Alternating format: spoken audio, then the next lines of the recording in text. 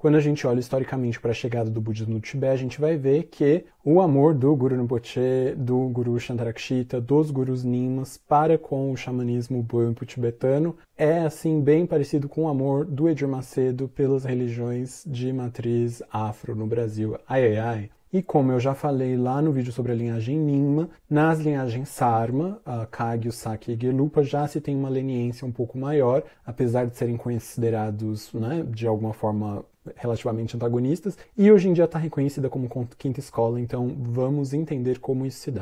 Hello, iluminadas e iluminados, sejam bem-vindos. O xamanismo do Tibete, a religião originária do Tibete, é, em tibetano a gente fala Burn, e a pessoa que é aderente desse sistema, ou aquilo que se refere ao sistema, é chamado de Burnpo. Tem um umlaut, dois pontinhos, porque é o sistema Burn é uma religião xamânica, uma religião animista, mediúnica, que tem uma evolução, né? Se até o budismo vai mudando, ele também mudou. E, segundo a história, né? Segundo a religião deles, eles têm um mestre chamado Shenra Miwoche, que é nascido, acho, numa parte ocidental, no oeste do Tibete, chamado Shangshung, que é uma terra meio mitológica, assim, um tipo de Avalon uh, xamanista. E esse mestre teria nascido muitos milênios antes do Buda Shakyamuni e, teoricamente, ele seria um Buda, ou teria o mesmo nível de Buda, passou os ensinamentos. Né? A gente tem o Buda Shakyamuni, né, na biografia budista, fez 12 feitos da iluminação. Esse Shenra Myoche tem lá os seus 12 feitos. E aí terá dado os ensinamentos, uma coisa assim, tem uma tentativa de acertar uma vida com um paralelismo com Buda, mas não tem nada a ver com Buda Shakyamuni. E aí esses ensinamentos foram passando e supostamente agora estão reconhecidos por sua santidade o 14º Dalai Lama como uma escola extra. Isso é recente, se eu não me engano 2012, não me lembro, mas é bem recente. Reconhecido de não budista para budista. Foi assimilado. As pessoas tendem a achar que o budismo tibetano, ou aquilo que a gente chama de Mahayana, Vajrayana, né, que é a modalidade de budismo no Tibete, é um tipo de budismo filosófico trazido da Índia, meio com, abre aspas, assim, uma macumba, bompo, que virou o budismo tibetano, mas não é isso. A gente vê que o Tantra, que assim, a parafernália Vajrayana, as roupas, o sino, os vasos que usa, tudo isso vem da Índia, se encontram inclusive nas modalidades budistas, por exemplo, do Nepal, né, que é não tem nenhuma relação com o xamanismo. Então, assim, mais o xamanismo tibetano importou do budismo, né, Vajrayana trazido da Índia, do que o contrário. Então, também já fiz essa peregrinação pela Índia, fui passando nos lugares de sítios arqueológicos e museus, e a gente vê que tem as estátuas das deidades, tem os budas com vários braços, com várias cabeças, tem implementos rituais, tem roupas tântricas e assim por diante. Então, assim, é claro que existe ali um contato, mas mais o xamanismo bebeu do, budismo do que o contrário, né? O budismo tibetano é o Vajrayana de Nalanda, Vikramashila e Odantapuri. Se vocês consultarem bibliografia ou, sei lá, a agenda de atividades de algum lama do xamanismo tibetano Burn, vocês vão ver que tem um paralelismo assim, muito forte com o budismo tibetano. Então, é, o fundador deles, né, o Buda tem os 12 feitos, o fundador deles tem 12 feitos. Aí a gente tem ensinamento de Sutra e Tantra, eles têm os escritos, né, que seria o análogo ao cânon budista Kangyo, eles têm meio que um Kangyo uh, xamã. E aí eles têm a parte tântrica. Então no budismo tem quatro iniciações, eles têm quatro iniciações. A gente tem três corpos, Dharmakaya, Sambhogakaya e Nirmanakaya. Eles têm três corpos com um nome diferente. A gente tem as técnicas dos yogas, aí eles têm os yogas análogos, aí muda a cor dos chakras. E aí você vai vendo que tudo meio existe, né? Até as deidades. A gente tem um Buda da sabedoria, né? Manjushri segurando a espada. Aí eles têm lá um deus da sabedoria com um nome diferente, a posição um pouquinho diferente, mas assim, bastante confundível, para ser bem sincero. A gente tem Pau de Lama, protetora. Aí eles têm Cipegelmo, rainha do Samsara, extremamente parecida, assim, imagética e confundível, enfim. Aí você vê que vai sendo construído um paralelismo e tem uma questão, assim, quase, né, é bem politicamente incorreta, mas eu acho que é importante trazer, apesar de ser desconfortável para mim. Quando a gente analisa a trajetória histórica do budismo, que, que a gente tem na Índia? A primeira né, universidade, eu chamo de proto-universidade, mas o que, que tem? Nalanda é a primeira universidade do mundo, é uma universidade budista.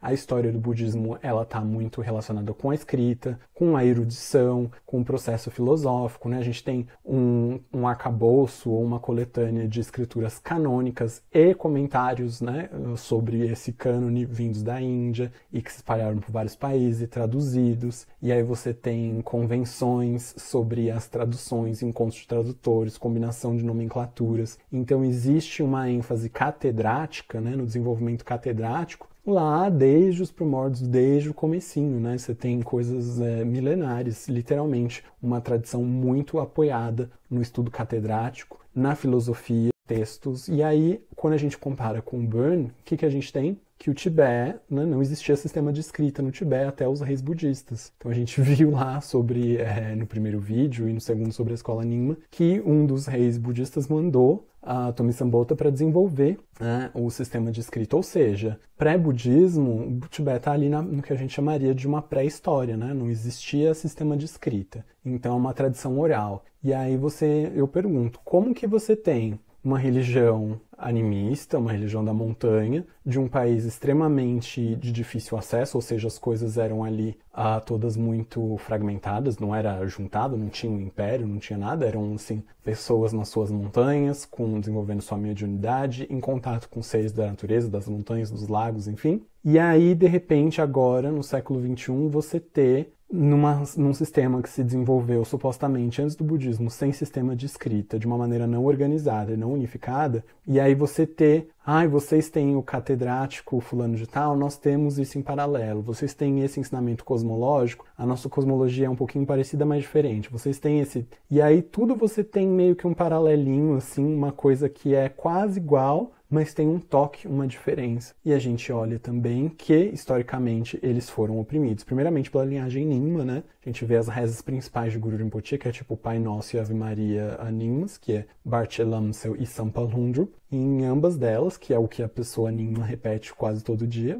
ou todo dia, é pisa, destrói, me proteja, me defenda, ou seja, tem essa demonização, assim, tipo Igreja Universal, pensa a respeito dos cultos de matriz afro. Uma das questões também é que essa religião já estava lá, o budismo chegou, né? E não só o budismo chegou e teve um processo de se instalar, como teve um incômodo né, desses uh, seguidores de Shenrab Miwoche contra os seguidores de Buda Shakyamuni, o budismo acabou logrando sucesso quando eles conseguiram emplacar um imperador, que era o imperador Landharma. Os mestres Nyingma foram lá e deram cabo dele. Os livros de história falam que ele tinha chifres de diabo, rabinho de diabo e a língua preta o que factualmente é impossível, mas para vocês verem como é extremamente compatível. Fora isso, nas linhagens seguintes, esse sistema Burn já estava instalado, instaurado ali no Tibete. Todas as outras linhagens você vai ver, né, a gente ouviu, que existe a busca dos ensinamentos verdadeiros de Buda. Aí você vai, traz um mestre da Índia, depois o tibetano vai para a Índia, aprende, volta, traduz os textos, traz os textos. Se fosse exatamente a mesma coisa, por que, que tantas pessoas sacrificaram a vida, né? Quando a gente vai ver, tipo, Gyatso Seng, eu acho que foram 30, foram 40 e sobreviveram dois, sabe? Foram vidas que foram investidas, mestres que deram um sangue, deram a vida para trazer esses ensinamentos de Buda e importar. E aí agora você dizer, ah não, na verdade era tudo a mesma coisa, se vocês estivessem praticando o Burn, já era, né, ele compara com Buda, porque na religião deles ele tem lá as qualidades. Então o que, que impede da gente falar que Deus é um Buda também? Porque tem qualidades de onisciência, né, segundo a Bíblia, de onisciência e até de onipotência. Então Deus também é um Buda, então a gente tem que acatar a, a, Bíblia. Aí vai ter que acatar o Alcorão, porque também tem essas qualidades. Não só porque os textos deles, sendo que qualquer texto Bumpo é escrito com a escrita tibetana, que só foi desenvolvida pelos mestres budistas para traduzir os os textos budistas, ou seja, não está apoiado numa literatura. E aí, livros de história também vão dizer que com a ascensão do budismo, quando se inventou a escrita, os primeiros mestres começaram a escrever textos, né, pegar os textos budistas escrever versões burn e dar uma modificada, enfim, e se inspiraram naquilo,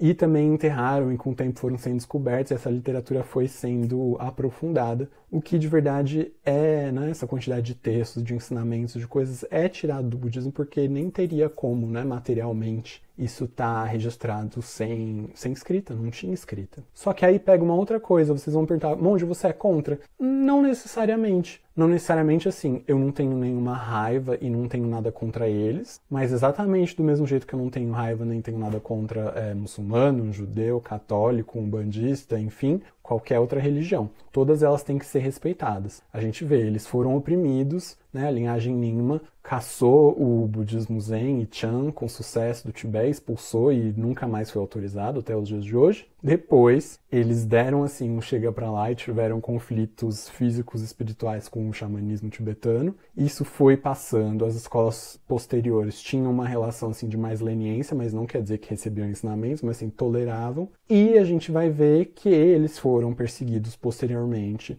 proibidos mesmo de ter templos, eles ficaram restritos a áreas tipo Tsaku, algumas áreas mais afastadas, né, que praticavam o sistema de Shangshun, por quem? Aí você fala, não é pelo Dorshuden, que é o, o diabão caçando, não, é por sua santidade Dalai Lama, inclusive quinto Dalai Lama, passou leis, perseguiu, destruiu, enfim, fez campanhas extremamente contra. Então a gente tem essa linhagem dos Dalai Lamas fazendo uma segunda onda de opressão contra o xamanismo do Tibete. Chega né, esse governo teocrático. Teocracia, união de igreja e Estado é problema. Aí o Tibete foi invadido, foram embora para a Índia, estabeleceram o governo tibetano em exílio. E aí o que, que tem? 45 cadeiras são 10 do Amdo, 10 de Wutsan, que é a região central, e 10 do Kham, dá 30. Aí dois representantes de cada escola. Ningma, Kagyu, Sakya e Gelupa. Dá mais 8, são 38. Dois da América, dois do não sei da Ásia, do, dois do não sei aonde. Aí vai dando. E aí o que aconteceu?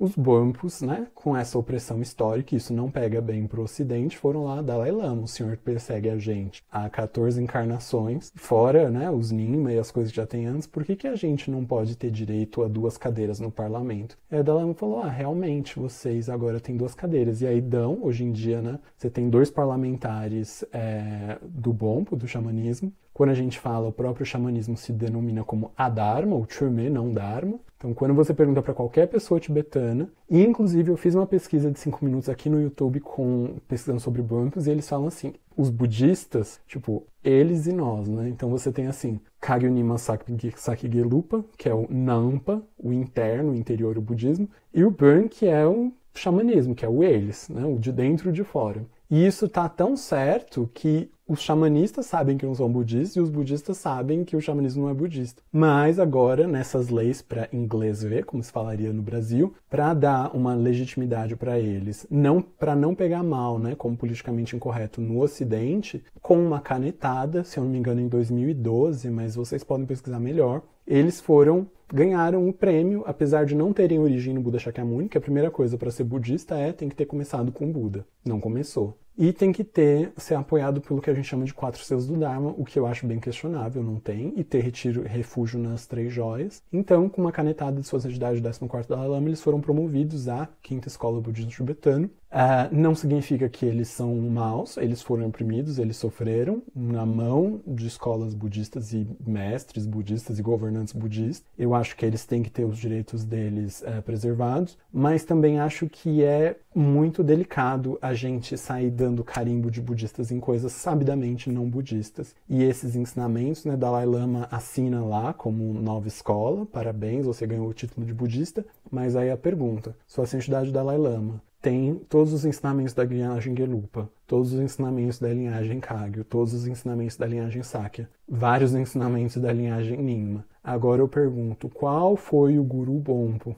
Qual foi o Lama ou o Mestre Bompo aos pés, aos pés do qual Dalai Lama sentou e recebeu algum ensinamento? Qual é a reza Bompo que o Dalai Lama pratica? Qual é a sadhana? Não tem, não tem nem sua santidade Dalai Lama, nem sua santidade Sakatrinzi, nem sua santidade o Karmapa, nem nenhum líder de nenhuma escola uh, relevante ou praticante, enfim. Não, porque é fora do refúgio, né? É fora do refúgio. É a mesma coisa que você pegar e fazer a salat, salat é aquela reza da prostração muçulmana, ou você, sei lá, incorporar o Pai Nosso na sua reza, não tem sentido dentro da trajetória budista, o que não quer dizer que a, né, que a religião dele seja cancelada ou seja demonizada e tenha que ser oprimida. E essa vontade de ser politicamente correto e passando por cima um pouco de preceitos teológicos muito básicos e bem estabelecidos fazem as pessoas falarem: ah, todos os saberes são válidos. Sim, todos os saberes são válidos. Mas assim, a gente tem que saber lá no século, lá no século X, século XII, agora eu estou em dúvida. Já na época de Atishas, falava que na Índia havia três pessoas que conseguiam distinguir entre o que era budista e o não budista, assim, com perfeição, que eram Atisha, Shantipa e Naropa. Então, quando a gente vai incorporando e, assim, legalizando e aproximando, vai criando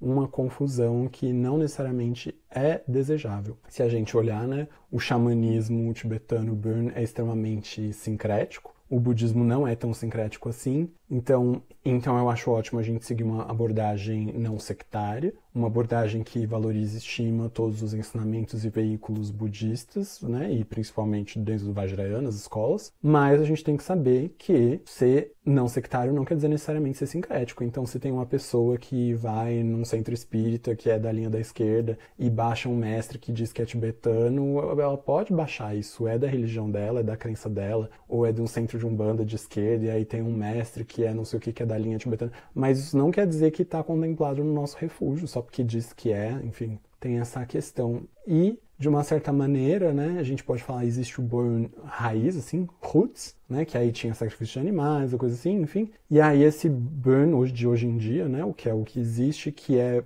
puxou muito mais coisas do budismo e até escrituras, enfim, tem um paralelismo com o budismo. Em algum sentido é comparável com Umbanda, e aí parece um pouco estranho, né, nessa maneira sincrética, porque absorve elementos daqui e dali, mas eu queria ler um texto, é, um trecho de um mestre do século XVIII, esse texto chama Tukendrupta, que é a explicação das escolas de pensamento através do mestre Tuken Rinpoche Losang Chokhinima. O mestre Tuken é o mestre Gelupa da escola mais recente e ele fala aqui do Dharma, quando ele fala Dharma, está falando budismo. O Dharma e o Burn são considerados contraditórios, mas o Dharma tem Burn misturado e o Burn tem Dharma misturado nele. Dharma misturado no sentido que no budismo tibetano às vezes se faz, por exemplo, oferendas aos deuses da montanha e seres da natureza, que são seres, né, relacionados principalmente com o xamanismo no sentido de pacificar obstáculos e alguns deles foram introduzidos nos mandalas budistas. Então ele diz, é, o Dharma e o são considerados contraditórios, mas o Dharma tem Burn misturado nele e o Burn tem Dharma misturado em si. Então, alguém como eu, que não tem a clareza do olho da visão do Dharma, fica cauteloso em tentar fazer distinções entre Dharma e Burn. Prosseguimos. Vocês denigrem o Burn, mas, em momentos de crise, pedem aos Burmpos com suas adivinhações o que deve ser feito ou não. Vocês gostam dos cânticos e dos, dos objetos ritualísticos xamanistas e todos esperam ser ajudados por esses amuletos xamãs. Quando se pensa nisso, nessa vida, o que se deriva dessas coisas? Agora que temos algum tempo e essa oportunidade única, por que não nos dedicar a cultivar a contemplação, meditação? Se você só pode fazer alguns feitos, haja de acordo com o Dharma sagrado. Se só tiver algumas palavras a dizer, faça a conversa de Dharma. Se tiver apenas alguns pensamentos, pondere sobre karma seus resultados. Se você for apenas a alguns lugares, vá aos locais solitários. Então, é por isso que eu falei no sentido das religiões de matriz afro no Brasil, porque as pessoas se declaram ah, católicas, né, seguem os ritos da igreja, mas às vezes quando tem problemas vão e esperam ser ajudados, fazem as oferendas, as coisas. Então existe essa relação assim meio de clientelismo diante de obstáculos às vezes, né? O xamanismo, o Burn é marcado por essa coisa assim mais mediúnica, mais animística, mais às vezes mais animadinha assim, ou então que aqui a gente faz e resolve. Então tem ali alguma similaridade que a gente pode comparar. Porém, né, até o próprio Dalai Lama, que fez essa canetada e essa lei, lei para inglês ver, a gente vê qual foi o ensinamento que ele recebeu do Burn, né, se é uma linhagem válida. Nenhum. Então, eu já ouvi falar que na Bahia, às vezes, tem alguns padres que são iniciados nos cultos de orixá, e aí segue o babalorixá e a lorixá e faz o ori, faz isso, e enfim. Mas se a gente olhar de verdade, nenhuma dessas palavras está na Bíblia. Ai, ai, ai. Quer fazer, pertence à liberdade de crédito do indivíduo. Porém, né, a gente tem que saber o que é budismo e o que não é. E budismo é uma religião e o refúgio nas três joias implica obrigatoriamente nos preceitos básicos ali a gente renunciar aos credos das outras religiões. No Brasil, a gente tem, é, claro, o Lingmincha, que acho que é a organização Bampo, ok? Né? Não considero como budismo, vocês podem ir lá no site ler a respeito. Mas, em relação a essa mistura, esse sincretismo de budismo com xamanismo, que eu saiba tem dois uh, templos principais. O templo da monja Anishera fica em São Caetano do Sul, não me lembro o nome exatamente. Uh, faz essa mistura né, de xamanismo e budismo. E na SEB, que é o Centro de Estudos Budistas Bodhisattvas do Lama Padmasambhava, parece que tem recebido ensinamentos de mestres Bumpo e também tem ali alguma mistura desses sistemas. Portanto, eu pessoalmente não recomendo não quer dizer que seja cancelado, que seja demoníaco, que seja nada assim, essa é uma visão né, mais antiga, mas acho importante, né, tantos mestres se dedicaram a buscar uma coisa pura dentro da intenção do Buda Shakyamuni, das práticas, enfim, tantas pessoas que foram andando do Tibete para a Índia, da Índia para o Tibete, enfim, se já tivesse todas as respostas, todas as coisas, não precisava, tinha poupado as calorias. E não precisava ter importado o budismo se a religião deles é análoga e substitui, né? Então, é só essa questão, um pouco desconfortável a gente falar isso, mas eu não recomendo, apesar de eu ter algum senso de entendimento e gratidão que eles ganhem lá os dois assentos no parlamento e que eles sejam respeitados, né? Como a gente tem que respeitar a religião de todas as pessoas, mas, né, eu fico com a minha e pratico com carinho. Espero vocês no próximo vídeo. Se inscrevam, curtam, compartilhem. Tchau, tchau.